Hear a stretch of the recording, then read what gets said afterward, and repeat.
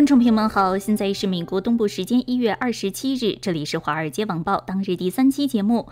现在我们继续为您带来有关中国以及世界的最新消息。如果喜欢，请记得为节目点赞，并请订阅我们的频道。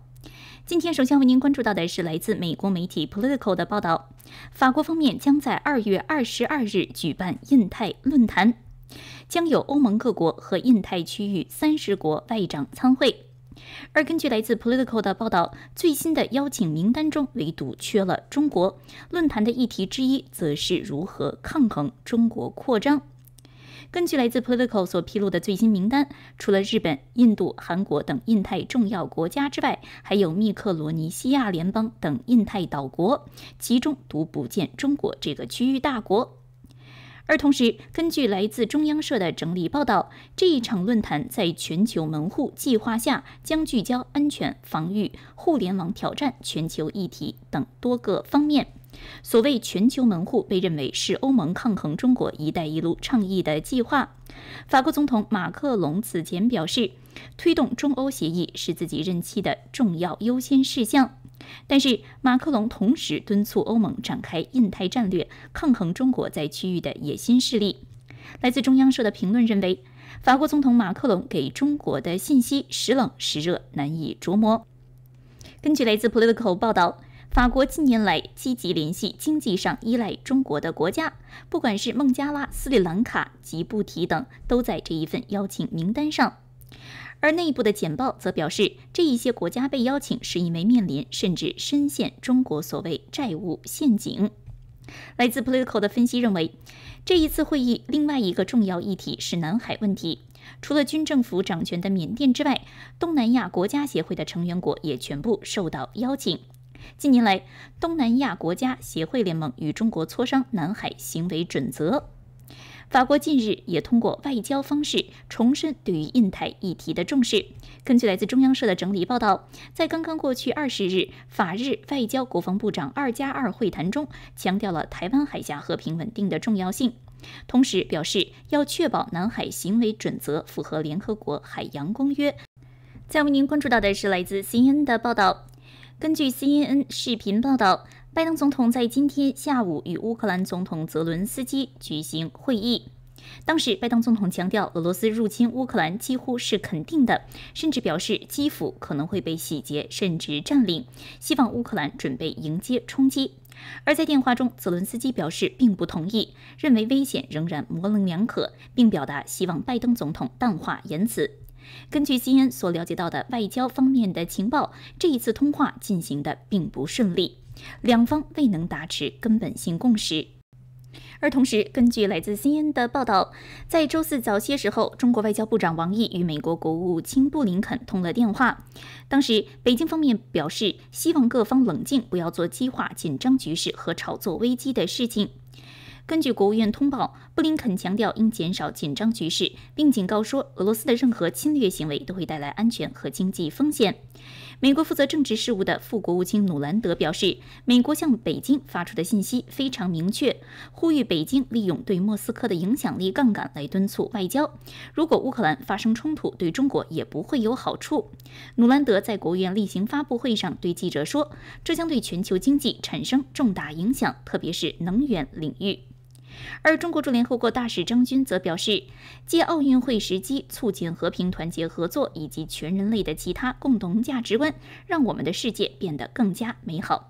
近几个月来，俄罗斯在乌克兰边境集结军队，要求北约从东欧撤军、撤武器，禁止乌克兰加入美国领导的军事联盟。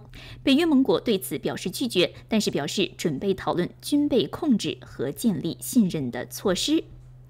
有分析认为，虽然中国不会对奥运前夕俄罗斯入侵乌克兰的可能性感到高兴，但是王毅选择捍卫俄罗斯的合法关键利益，这当然是北京方面的说法，而不是向布林肯提供任何支持。也有分析认为，对于美国及盟国向俄罗斯施加代价的任何企图，北京都可以充当一个破坏者的角色。再为您关注到的是中国时政有关的消息。根据来自中新社题为“中共反腐实践早已击碎退休及安全等一系列伪规律”的报道，中国共产党如此密集打虎，其中可以看出多重信号。文章特别说，十八大以来的反腐实践早已击碎退休及安全等一系列伪规律。有评论说，退休官员没有法外豁免特权，对于在任官员将起到极大的震慑作用。来自中国官方媒体中新社的文章特别表示，今年的反腐重点是持续推进金融领域腐败治理。在浙江省委原常委、杭州市委原书记周江勇的违法违纪事实中，与资本勾连、支持资本无序扩张十分醒目。权力与资本勾连是升级版的权钱交易。文章特别说，十九届中纪委六次全会公报就提出斩断权力资本勾连纽带，涉及资本扩张新阶段、平台企业发展壮大的新业态。文章继续说。权力与资本勾连是威胁国家经济安全的巨大隐患。针对这样的腐败动向，不仅要提升官员、企业家的个人觉悟，更要理顺体制，进一步健全市场经济规则秩序等。同时，文章还说。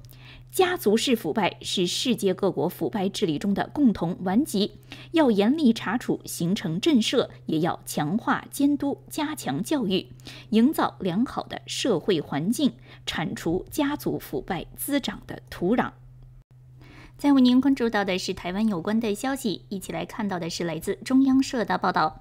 文章介绍，台湾副总统赖清德在今天参加了洪都拉斯总统就职典礼，与美国副总统贺锦丽同坐第一排，两人进行了简短的寒暄致意。这是台美副元首第一次在国际场合出现自然互动。根据来自中央社的报道。赖清德下榻酒店，距离国家体育场不到十分钟。台湾特使团在当地时间上午十点四十分进场，而赖清德向观众挥手致意，同时拍胸口致谢、送飞吻，这是入乡随俗、展现拉丁美洲民俗的举动。而在就职典礼前，可以看到副总统贺锦丽在赖清德左侧，中间还有哥斯达黎加的总统和西班牙国王。稍早前，他发推表示。我国与洪都拉斯关系很重要，他表示，稍晚将和新总统进行会谈，讨论深化多项议题上彼此合作。再为您关注到的是中国人事变动方面的消息，一起来看到的是来自《星岛日报》的报道。文章介绍，在此前政治局就实现碳达峰目标集体学习时，央视新闻联播的画面中，七常委有赵乐际缺席。而同时，《星岛日报》注意到后排列席的中央部委高层出现了新面孔，科技部副部长张宇东，同时也可看到中央政策研究室主任江金泉、中央财办常务副主任韩文秀、生态环境部党组书记孙金龙等。按照惯例，中央部委由一把手列席活动，科技部部长王志刚没有参加，而由身兼民进中央副主席的张宇东代替。《星岛日报》发问。联系到王志刚将在今年十一月年满六十五岁卸任，是不是科技部又出了一位民主党派部长呢？根据公开资料显示，张宇东本身是工学博士、光学专家，曾经担任中国科学院光电技术研究所、中国科学院成都分院的院长。二零零八年担任四川政协副主席，去年进京，有十四年的副部级资历，是科技部排名第一的副部长。而同时，《星岛日报》分析认为，张宇东还有两大优势。首先，他是福建闽侯人，可以说是根正苗红。二零零三年加入共产党。文章分析认为，张宇东担任副主席的民进党也是八大民主党派之一。为了体现中国共产党领导下的多党合作制，安排一位参政党领导人担任内阁成员也是很有可能的。在中国体系内，像张宇东这一类人士叫做交叉党员，值得关注。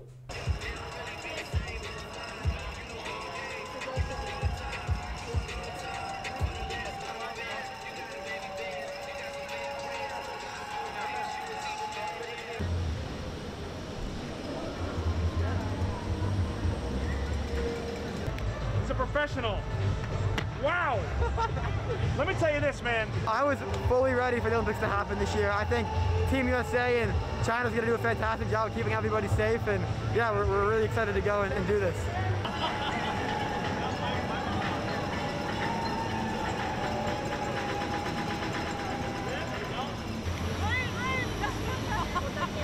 There we go. Nice smiles, everybody. Let me ask you this on a personal note. Just saw it. I just saw was like, oh. okay. Right, anything else you want to say about today? What's uh,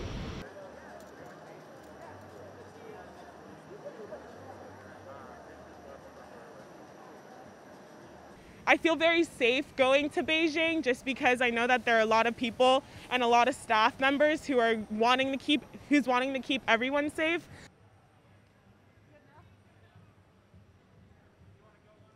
Um, it's literally perfect. Like everything is so perfect right now, and um, I'm really just gonna like experience it and not like focus on the negative if there are any negatives, you know. And I'm just gonna really remember this because this is so amazing and honestly, like I feel like a once in a lifetime opportunity, and like, um, yeah, it's gonna be it's gonna be great.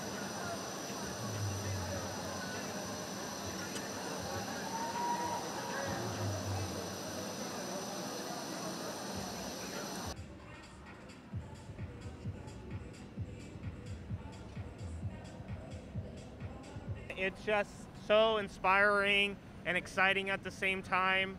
Um, I mean, this is incredible. Li- literally living a dream right now. So.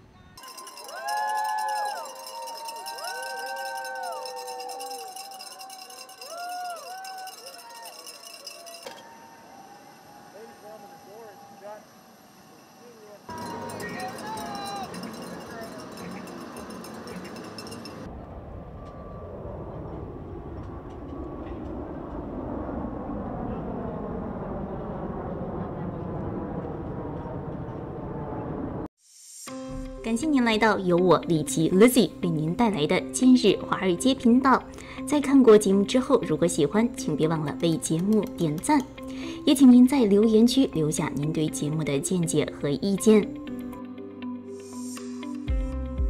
如果您是频道会员的话，我们会在第一时间回复您的留言，解答您的疑问。另外，如果还没有订阅的话，请记得要订阅频道，并且打开订阅按钮旁边的小铃铛，这样您就可以在第一时间收到节目发布的最新信息了。再次感谢您观看今日华尔街频道，我是李琦，我们下次再会。